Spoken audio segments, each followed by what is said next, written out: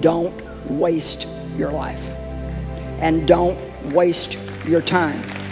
And one of the ways that we can waste our lives is doing things that really are not important to God just to try to impress people.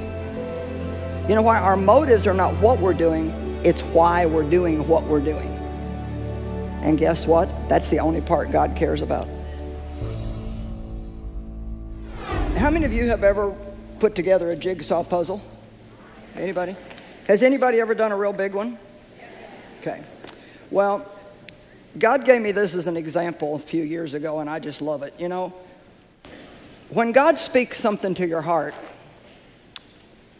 gives you a dream or a vision to do something, whether it's business or, or ministry, or whether you need a complete overhaul and you've got a vision of being the person God wants you to be, you usually buy into what God shows you based on the picture you see. It's kind of like when you go out and buy a puzzle, nobody looks in the box to see what the pieces look like. You just get one that's got a good picture on the front of it. No, I have another one at home that I forgot to bring. It's 5,000 pieces. So we bought this one, it's 2,000 pieces. And if you notice, most of this thing is green and blue. Which means when you get into it, there's a lot of sameness in the pieces. However, if you don't give up and you keep at it long enough, you'll eventually get the puzzle put together. Then, usually, after you do, it's not too long and you want to start something all over again. So, whatever vision and dream you have right now, let me just tell you when you finally get to your destination, it won't keep you satisfied too long and you'll be wanting to do some other thing because God has created us to want to reach and to grow and to do new things. So, the first thing I want to tell you, and I want you to remember this make sure that you enjoy your journey because life is more about the journey than it is the destination. Now, I want you to think about that. When you get to wherever it is you think you want to be, that's going to be a thrill, and you're going to be thrilled for a while maybe a few days, maybe a few weeks. And it won't be long, and you'll be reaching for something else. And so, if we don't learn how to enjoy the journey, we can literally spend most of our lives being frustrated trying to get to where we think we want to be. And it's really tragic when we don't enjoy the journey. Now, admittedly, some of it is a little more enjoyable than other things, but everything is for a purpose. And one of the things that's happening is we're getting experience. And just like you go out and apply for a job, they want to know what kind of experience you've got. God wants us to come with a little bit of experience too. We get different kinds of experiences. We pray to love everybody, but we don't want to have to love anybody that's not lovely. Amen? And it's easy to tell people how they need to forgive until somebody just gut wrenches you and then you have to try to do it yourself. Have you ever noticed how much easier it is to tell other people what to do than it is to do it yourself? One time I was in some kind of a situation and I was praying, Oh God, show me what to do, show me what to do. God, what do you want me to do? He said, Just do what you would tell somebody else to do, and you'll be perfectly fine. But anyway, if you get the idea I'm trying to point out, God's giving you a picture of something that He wants you to do. Like 40 years ago, when God called me to teach the Word, all I really heard in my heart was, You're going to go all over the world and teach my Word and have a very large ministry. Well, that was really kind of ridiculous. I don't even know why it is we believe the things that God says to us, except when He, when he says something to you, He also gives you a gift of faith to believe it. Now, that's why a lot of times you can believe things for your life that nobody else can believe you get a gift of faith with it. And so it seems very reasonable to you, but other people are like, you, you got to be kidding. There's no way that you could do that. And they just, so it ends up being discouraging. And so what happens then is when you open up this box,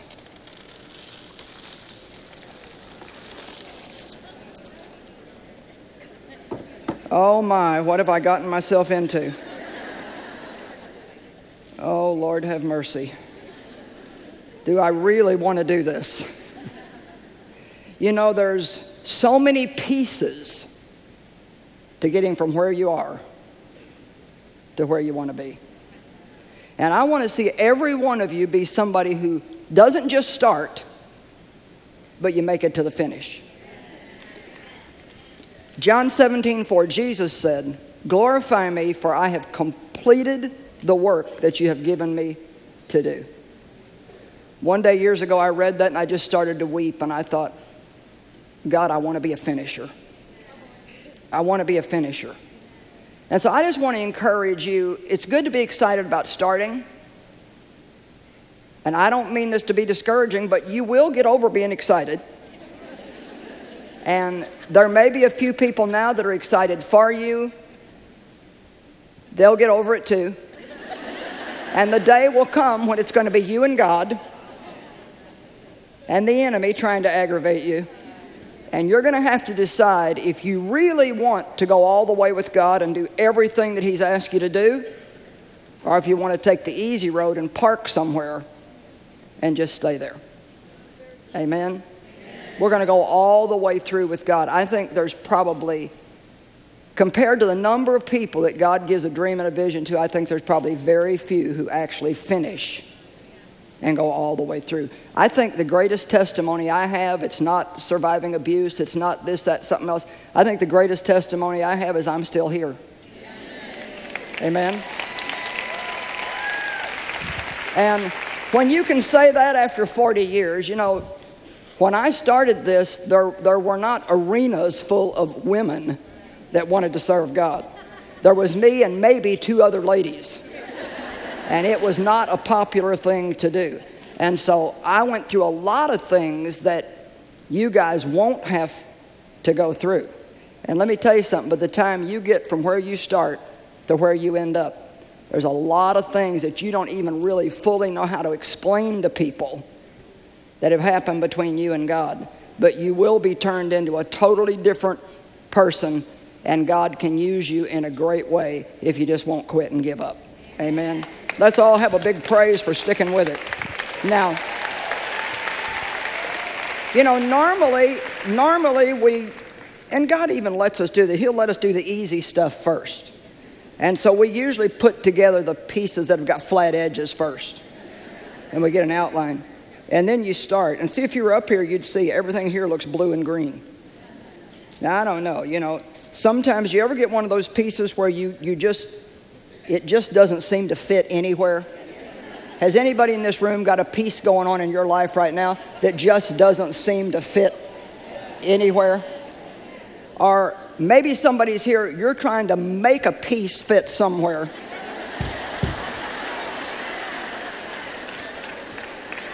And it just won't go. Is anybody here so fed up with putting together blue sky that you could just scream? You know, I worked at a church for five years, and that was pretty good because the crowd came for the pastor, and I got to preach, and he believed for the money to pay the paychecks, and I didn't have to do that, and it was just a lot of fun. And then God called me to leave there and go north, south, east, and west, except nobody knew me north, south, east, or west, and so trying to be childlike, I went to North St. Louis, East St. Louis, West St. Louis, and South St. Louis. And I did, and I started one, one teaching meeting once a month in each side of town. Well, for years and years and years and years, I did meetings of nine people and 12 people and 50 people and 60 people and 70 people. And man, if we got to 100, I thought I had died and gone to heaven. I got so tired of putting together blue sky that I could have screamed at the top of my voice. Does anybody here feel like you've been stuck in the same place doing the same thing so long that if God doesn't give you another piece pretty soon, you're going to feel like throwing the whole puzzle away. Amen. All right, now, having said that, I want to read you something. I've kept journals for most of the 40 years that I've been in ministry, and usually one of the first things I do every day is write in my journal. And you know, you'll tell your journal things that you don't want to tell anybody else. And then sometimes you go back and read them 20, 30 years later, they're actually pretty hysterical. And so I found this about a year ago, and I just decided that I would share it with a few people because it's, it, it's just interesting. So on December the 26th, 1987, so that's been 29 years ago, I said, Christmas is over, God is good. From a spiritual standpoint, I've been having a very rough time.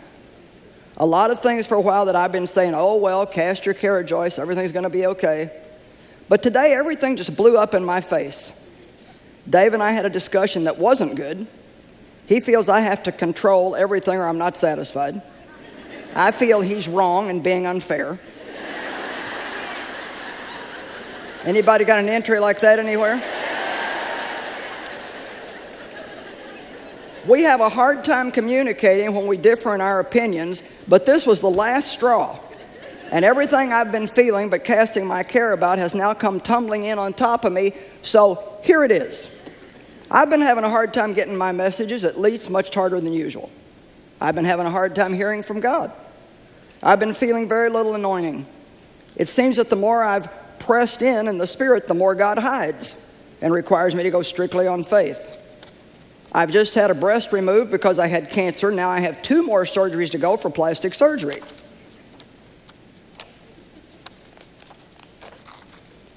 Our meetings, at least the attendance, have fallen off because of the holiday season. I've had a lot of weird feelings lazy mind, bored, discontent, etc. All of this has come at once. I also feel that I just don't know how to pray anymore. I've really had a hard time praying. How many of you could tell I was having a bad day? Well, today it just all seems to be too much. God help me, I feel like I'm going to go under, but I guess I won't. I trust He's doing something, and that's in big letters, but I don't know what it is. He's probably, I guess, wanting a greater degree of abandonment out of me. I'm not sure I can do it, but I'm willing to let God do it if He can.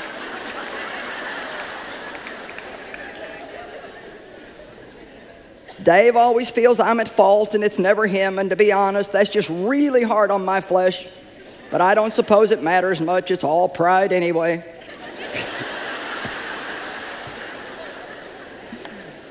now, now, here, this is where it gets really funny. I am really sorry to have to report.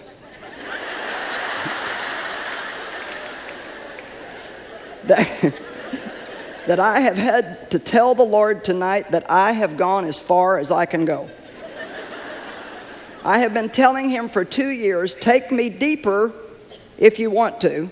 I'm willing to do whatever you need me to do, but I really don't want to go on like this. I feel I've gone as far as I can go. I want the pressure to let up, and I would also like a few feelings. Come on, anybody with me out there? I don't know for sure if God's going to let me out of this. He may not let me out, but I never really thought I would back down. So now, on top of everything else, I now find out that I'm a spiritual coward. you know, it's good sometimes to just be let into the real things that are going on in people's lives sometimes because if all people ever tell you who have victory is about their victory, and they never tell you what it took to get there and how many times they wanted to give up and quit, then you begin to think that there's something wrong with you. But let me tell you something everybody that's going to do anything amazing with their life is going to have to go through some of the similar things. Everybody. There's nothing wrong with you, you're just in training. Now, 11 years later, I saw this entry. Somebody say 11 years. 11 years. And this was December the 20th, 1998. And I said, Well, I was reading this old notebook and thought I would give you an update on how my life is now. See, this is, this is what you got to look at. Things have changed drastically. I'm now on 375 television stations, 250 radio stations. Our ministry is very successful. I've changed drastically. I enjoy peace almost continually. I've continued all these years to have some health struggles, but in the midst of it all, God has given me grace to do all He's called me to do. It's been hard at times, but I can report that God is faithful. I now have four grandchildren, which now have become 11, plus one on the way. My youngest son was getting married in six weeks. He now has three sons of his own. Dave and I love each other very much, and we get along really good almost all the time.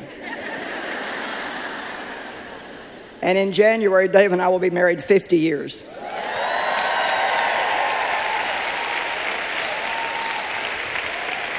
Now, that's been 19 years ago, and I won't bother to give you another update, but things are just really good. Now, what happened during those years? It's good to get a report here and then another one 11 years later, but what happened in those 11 years? And then what happened during the next 19 years? One main thing I grew.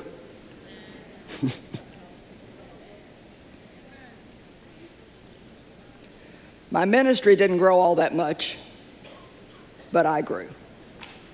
See, God is much more interested in changing us than He is in giving us what we want. I must repeat that. God is much more interested in changing us than He is giving us what we want. Now, you will eventually get what you want if what you want is what God wants. And you'll even come to the point where if what you want is not what God wants, you won't even want it. At least you'll tell God, I want this, but if it's not what you want, then I don't want you to give it to me. I beg God, please don't ever give me anything that I ask you for if it's not your will. Because I've been in the, in the will of God and I've been out, and I can tell you in is much better than out.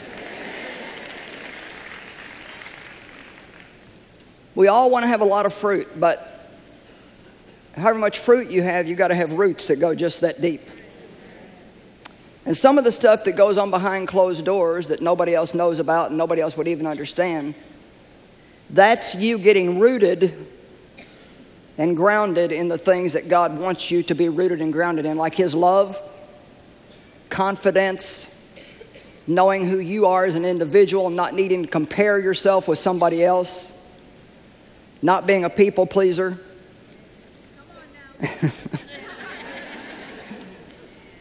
I hope to get around to it later if time permits, but if not, I just want to say this now. If you don't learn how to say no when you know that God is saying no, you will kill yourself trying to keep other people happy all the time. Amen. We need to live deeper lives. And what I mean by that is we have this carnal level. Your soul is your mind, your will, and your emotions, and it doesn't tell you anything about God, it only tells you about you. My mind tells me what I think, my will tells me what I want, and my emotions tell me how I feel. But God wants us to live much deeper than that. He wants us to learn to live in the Spirit and to always be willing to go with God no matter what we want, what we think, or how we feel. I want to go to Luke chapter 5 and show you a great scripture.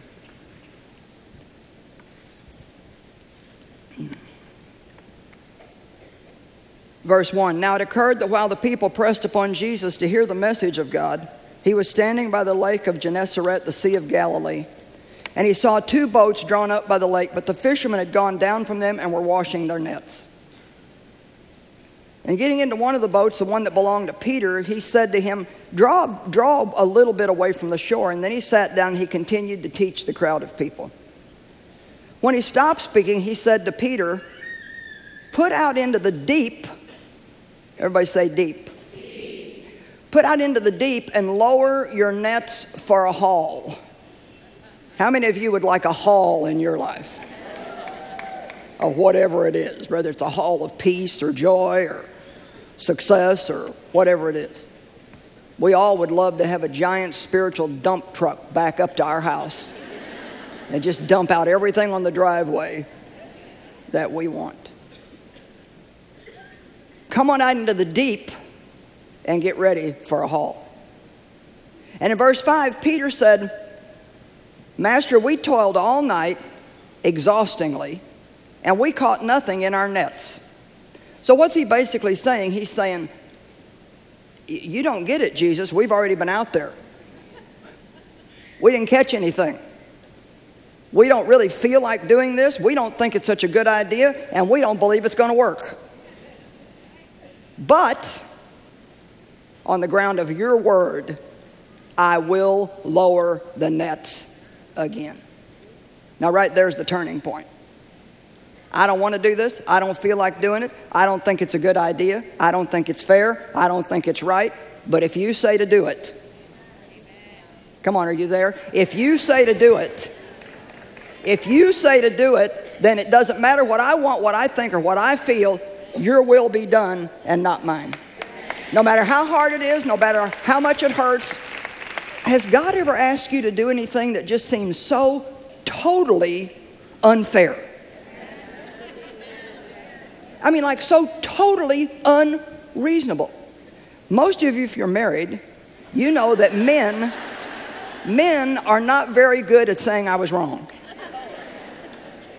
Matter of fact, some of them really stink at saying I was wrong. And they're not too quick to come and apologize. and every time Dave and I would get into a tiff, God would tell me, Now go make peace. Go make peace. And I finally said to the Lord one day, This is just not fair. It is not my turn. He, I apologized the last time, you need to talk to him. And, but you know, I could not find any scripture in the Bible that said, Make peace if it's your turn.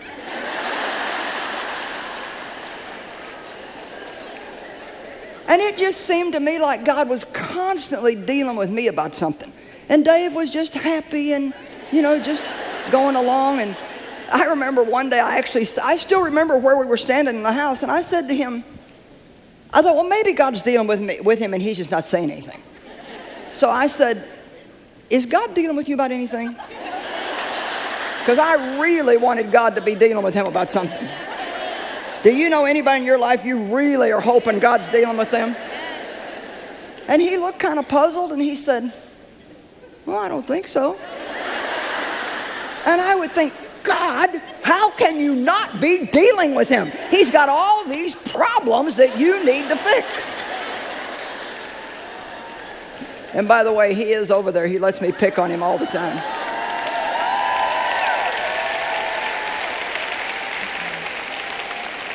And uh, let me tell you something, Dave is just the best guy. I mean, he, you know, real love is letting somebody be all that they can be. And Dave has definitely done that in my life. And he loves me just the way I am, including all my spice, and so I like that too. But anyway, man, I wanted God to deal with him and not just me. And it seems so unfair I mean, I wanted him to come and say, you know, God's really been dealing with me that I need to treat you better, and God's really been dealing with me that, you know, I'm a little stubborn sometimes, and God's been dealing with me that I've got a problem with pride, but I never heard any of that. Never. Never. I would just be getting my flesh crucified, and he'd be out playing golf having a good time.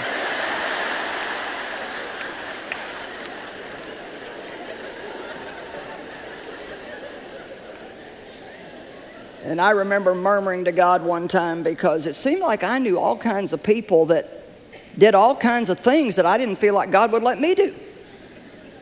And I thought, I mean, really? I mean, God, are you really not dealing with them? Why do they, why do they get to see movies like that and you won't let me see them? Why do they get to do this and you won't let me do it? And you know what he said to me? And somebody here today needs to hear this. He said, Listen, Joyce, you've asked me for a lot. Do you want it or not?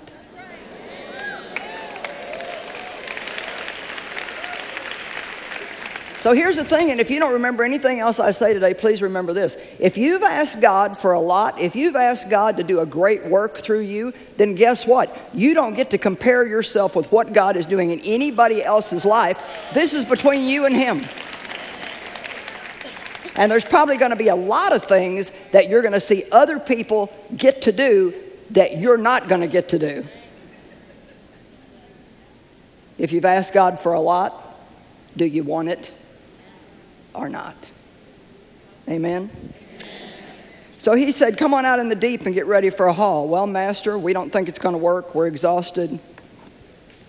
but on the ground of your word I will lower the nets again. And verse 6 is so beautiful. And when they had done this, they caught a great number of fish, so many their nets were at the point of breaking, and they signaled to their partners in the other boats to come and take hold with them. And they came and filled all the boats so that they all began to sink. So, what's the message there? If we do what God wants us to do and we live a deeper life, and we don't live according to what we want, what we think, and what we feel, then we will have a haul of blessings in our life, not only for ourselves, but so much that we'll be able to help all the people around us that are needy.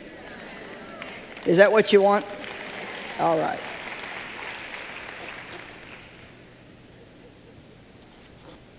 Well, what happens when we begin to grow? Well, we learn to live deeper. We learn to seek God for who He is and not just what He can do for us. Man, was that ever a big transition in my life. One morning when I was praying, the Lord challenged me to take a real good look at, my, at how I was praying and compare how I was praying to the way the Apostle Paul prayed and the way Jesus prayed. And by the time I got done, I was quite embarrassed because all I did was ask for stuff for the flesh and I don't know if you know it or not, but in all the prayers that Paul prayed for the church, you can't find one where he asked God to give them a thing or to relieve them from any of the things they were going through. He prayed that they would be able to endure whatever came with a good temper. I've never yet had anybody come and say, Joyce, would you pray for me that I can go through whatever I need to go through and still stay sweet and happy? never once in 40 years has anybody asked me to pray that. But we need to be able to pray, God, I want your will in my life, and if it's not comfortable, then keep me sweet and keep me happy because I just want to do this the way you would do it if you were here. Anybody know what I'm talking about? All right. So we have to stop seeking God for just what He can do for us and seek Him for who He is. During those years, my motives were purified. And you know, I don't know about you, but I think most of us, if we were really gut level honest, we would have to say that when we first start, first start wanting to be used by God, our motives are not all that stellar. I had been abused by my dad, and so I was very insecure. And to be honest, although I had a call on my life, part of me wanted to do it because I felt like I was being called to do it, but part of it wanted me to do it because I just wanted to be successful at something so I could feel good about myself.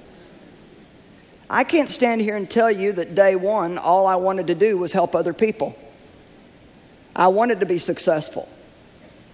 I wanted to be in leadership. I wanted to be one of the important people at my church.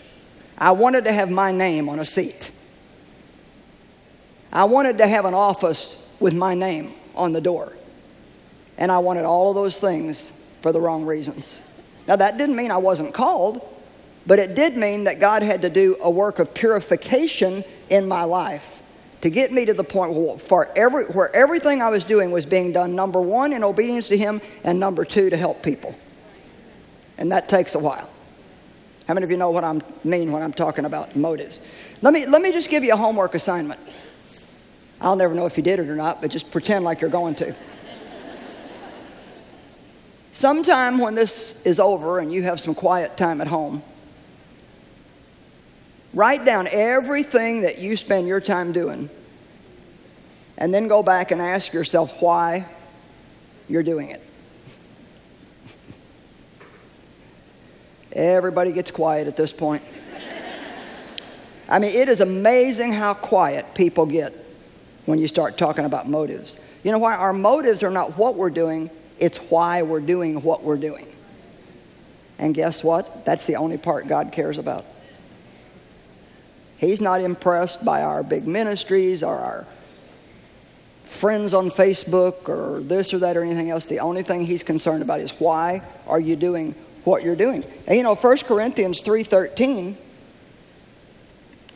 says that the work of each one of us will become plainly and openly known, shown for what it is, for the day of Christ will disclose and declare it, because it will be revealed with fire, and the fire will test and critically appraise the character and the worth of the work that each person has done. And it goes on to say that if what we've done is a pure work, we'll get our reward. And if not, all the works will be burned up, even though we ourselves will still be saved. I don't know about you, but I don't want to waste my time. I don't want to spend my life with some misconceived, deceptive idea that I'm doing everything I'm doing for God when really a lot of it is just for myself. I read this the other day and I thought this was a great statement. The biggest thing to be afraid of is not failure. The biggest thing to be afraid of is that we will succeed at something that's useless. I think we could say that again, right? The biggest thing to be afraid of is not failure. The biggest thing to be afraid of is that we might succeed at something useless. I just wrote a book, released it last fall, called Seize the Day. And in that book, I tried to share with people how important it is to live your life on purpose for a purpose. I don't think any of us can realize how valuable time is until you get old enough in life to where you're not having too much of it left. You think totally differently when you're 20 and 30 and 40 and even 50 and 60. And I can tell you, when I was in my 60s, I realized one day two thirds of my life was over. Even if I lived to be in my mid 90s, two thirds of it was over. And I only had about a third left. And I tell you, I really have a passion to tell people don't waste your life. And don't waste your time. And one of the ways that we can waste our lives is doing things that really are not important to God just to try to impress people.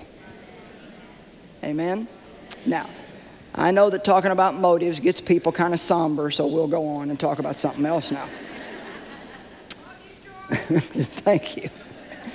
During that period of time, we also have the privilege of having a lot of humility worked into our lives. The Bible says, humble yourself under the mighty hand of God, but I can tell you that if you don't humble yourself, God will do it for you. And it's much more painful when He does it than if we go ahead and do it. I don't know if you're willing to admit it or not, but I think most of us, when we start, are pretty full of ourselves. Anybody? Come on, don't look so innocent. I'm here. I've only been a month since I had my hips sawed in half. I'm here to help you, so look like you're being helped.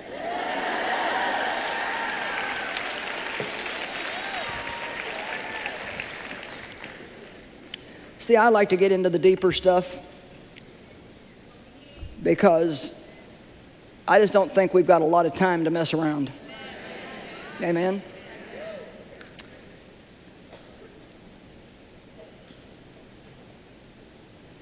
Nebuchadnezzar the king, Daniel 4 1 through 4.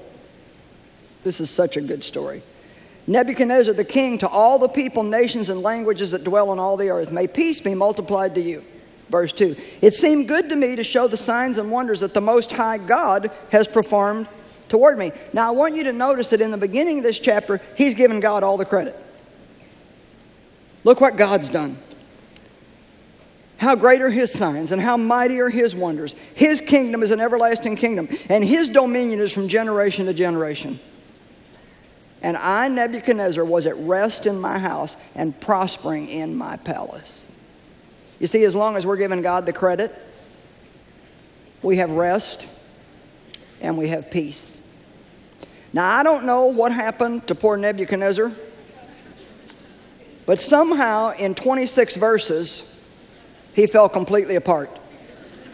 And I don't really know how long 26 verses takes in the Bible, but it didn't take me very long to read it. And by the time we get around to verse 30, the king said, Is not this the great Babylon that I have built?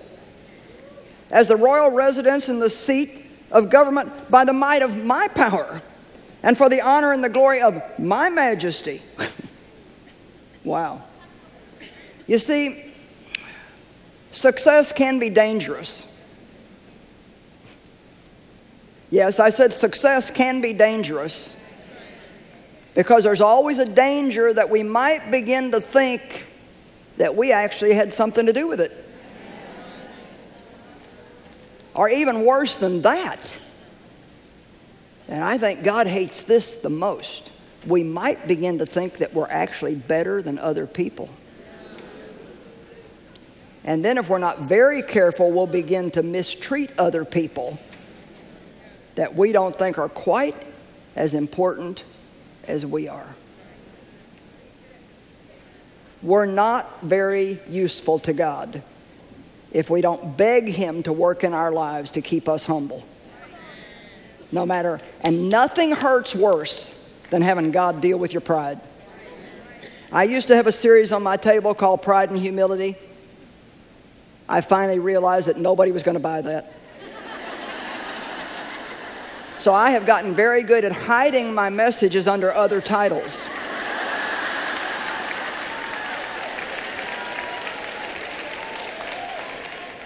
How to succeed with God.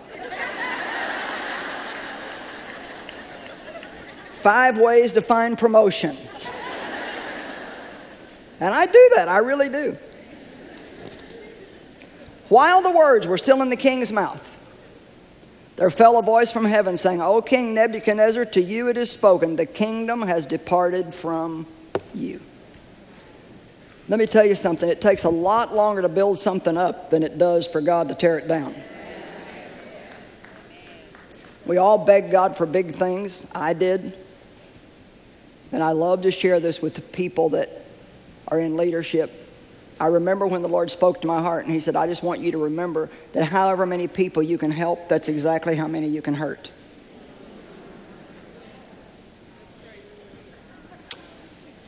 That's why leadership is such a huge responsibility. Not just a privilege, but a responsibility. Because people watch everything you do. Amen? I went to a store the other day, and of course, being on television, I get recognized a lot. And not that I have any desire to do this, but I absolutely cannot afford to get out in public and not live what I preach. And I was actually pretty tired the other day because of the hip thing. And I was out doing a little bit of shopping. I just wanted to get out for a while. And it happened to be a heavy, everybody knows Joyce Day. And so, and I mean, and probably the thing I like the least happened. A man ran up and, oh, can I call my sister? Will you talk to my sister? I'm like, mm, I, I really don't like to do the phone call thing. Oh, well, yeah, and he wasn't going to take no for an answer, so he got his sister on the phone. I remember one person who did that, and when I told the person on the phone, Hi, this is Joyce Meyer. They're like, Who's that? Please don't make me call people that don't even know me. And so, so now here, but here's what I said to somebody that was with me. I said, You know what? I just need to go home. I said, Here's why. This is obviously going to be a busy day, and I don't feel good, and I'm likely to be cranky. And I cannot afford to do that. So it's best if I just go. Amen. See, when you're leading other people, if it's a, if it's a church, if it's a Bible study, whatever it is, if you're the president of some club at school, whatever it is, the minute that you're in a place of leadership, people look up to you and they expect and need you to be the real deal. Now, that doesn't mean we don't make mistakes, but it does mean that we must press in and continue growing and not just make excuses for bad behavior because we can get by with it. Amen? However many people you can help, that's exactly how many you can hurt. Anyway, I went to the store the other day and guy working behind the little deli counter, he's probably waited on me at least seven times and never said one word. I mean, that, you know, that he knew me. And that day, he said, My wife watches you all the time. You think you could sign something for her? So I had somebody bring a couple of books back to him, but I thought, now, what about in those seven times if I would have been cranky, if I would have been rude, if I would have said anything that would have not made him believe that I was the real deal? There's a lot of responsibility to leadership. We were in a restaurant one time after I'd taught a whole seminar. I'd done four or five different sessions by myself, and we made a plan to go to this certain restaurant and eat. We had a bunch of people with us, and we called and made a reservation, only to find out when we got there that they didn't take reservations. I'm like, well, why didn't you tell us that when we made the reservation? And, well, you must have just talked to somebody that didn't know, and we're sorry they made a mistake, and so you're going to have to wait about 45 minutes to an hour. And I was like, God, I have worked all weekend. I don't want to wait 45 minutes to an hour, but praise the Lord. so we finally get seated, and it's very crowded in the restaurant that day, and we've got about 12 people at our table, and the waitress is balancing this thing of drinks that we had ordered coffee, tea, all kinds of stuff. And she tripped on something and dumped the whole thing on my husband. Well, Dave, you know, he's he doesn't have the challenges that I do in personality. and he just said, That's okay. Don't worry about it. He even called the manager over and said, No, I don't want her to get in trouble. It wasn't her fault. And so she comes back about 20 minutes later with another tray of drinks. And she sets them on the table and she leans across the table and she looks at me and she said, I was just so nervous because I know who you are. And I thought, oh, thank you, Jesus. Thank you, thank you, thank you. Thank you. Thank you that I didn't act like an idiot. Come on. Somebody's always watching. And if it's not a person, it's God. And we need to learn to live under that one all seeing eye and realize that we are not hiding anything from Him. We may hide from other people, but we're not hiding anything from Him. Amen. Now, something else that happens to us is we have what I fondly call silent years. You know what those years are? Those are the years when you've got this thing in your heart, not much is happening. Nobody's really for you, nobody really believes you. It's just kind of a thing between you and God. And somehow or another, in these silent years when nothing's happening, you're supposed to hang on to this dream. Anybody in those times right now, maybe, in your life? It's good to know I don't have the wrong crowd. Well, let me just tell you that everybody has them. There are years when God hides you, and all He does is work on you.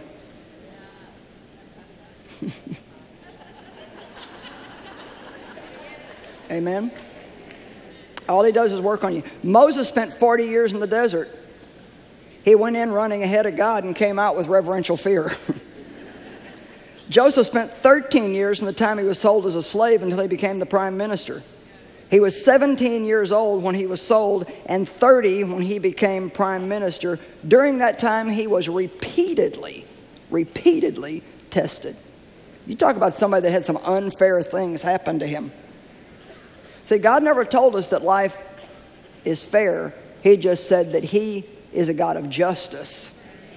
And that means eventually God will make all wrong things right. Amen.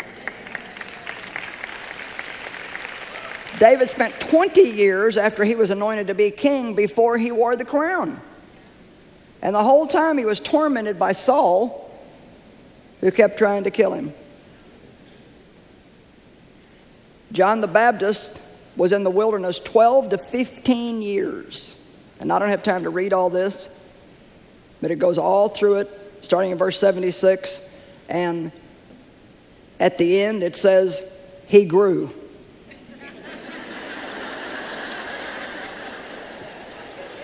Really? He grew. But you know what? If you've been there and done that, then you get it. It's like, I can feel the pain in those two words. He grew. All those years out there. Matter of fact, I've got the statistics. 30 years of preparation for a ministry that lasted a few months. John the Baptist. 30 years of preparation for a ministry that lasted a few months. And then Jesus was born, and at eight days old, he was brought to the temple for dedication. He wasn't heard from again until he was 12 years old. Kind of sounds like my journal.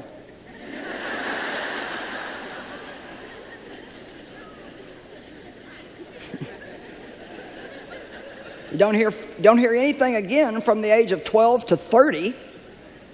And all the Bible says is he grew. He grew. Hmm. Then suddenly after that, he was baptized, the Holy Spirit came on him, and he started his public ministry with power. Let me tell you something. If you will let God do what he wants to do in your life, your day will come. And you won't be promoting yourself, God will be promoting you. And what God lifts up, no man can bring down. Amen? Don't ever try to put yourself in a position Wait and let God put you. Something the Lord spoke to my heart many years ago. He said, Whatever you start in the flesh, you will maintain in the flesh. So we don't want to be trying to start stuff just because we can. We want to make sure that what's going on in our life is God. I want to encourage you that everything everything that I've been through, which is a lot, has been so worth it. And even though I tell you these difficult things that you're going to have to make it through, it's not meant at all to be discouraging. It's meant to encourage you not to quit and not to give up because God needs you. And He's preparing you for something amazing. And I compliment you for being hungry for the Word of God and for being willing to step up and live a sacrificial life. Don't you dare quit. Don't you give up when you don't understand. Just remember that God's always got a purpose in everything. And I don't mean this just to be glib, but all things do work together for good to those who love God and really want His will in their lives. Come on, you're going to make it and you're going to do great things for God.